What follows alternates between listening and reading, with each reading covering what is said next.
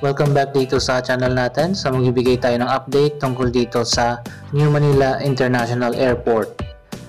So guys, nalalapit na nga ang actual na construction dito sa pagtatayo ng New Manila International Airport dito sa Bulacan at yan ay masisimulan sa last quarter ng taon na ito. At meron pa tayong mga nasagap na mga update tungkol dito sa bagong proyekto na ito. Kinuha ng San Miguel Corporation ang sikat na arkitekto at urban planner na si Filino June Falafox and Associates para i-master plan itong ang bagong New Manila International Airport at ang magiging Aero City, isang airport city sa paligid nito. At sa iba pang proyekto ng San Miguel Corporation katulad ng MRT-7 project, Pasig River Expressway at marami pang iba.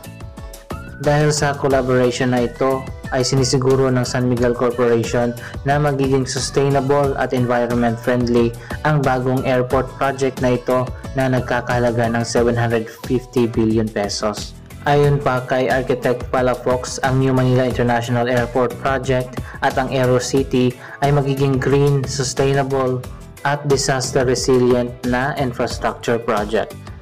Ang bagong airport project na ito dito sa Bulacan ay mayroong dalawang runways at dalawang passenger terminal building. Expandable din ito up to 4 runways in the future at ang passenger terminal building nito ay posible ding madagdagan in the future kung kinakailangan.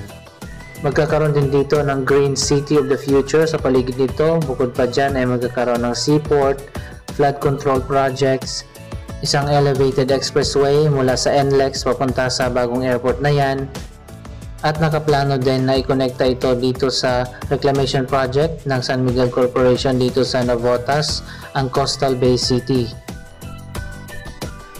So guys, yun lamang yung latest update na nasagap natin at tuloy-tuloy na nga ang progress dito sa pagtatayo ng New Manila International Airport.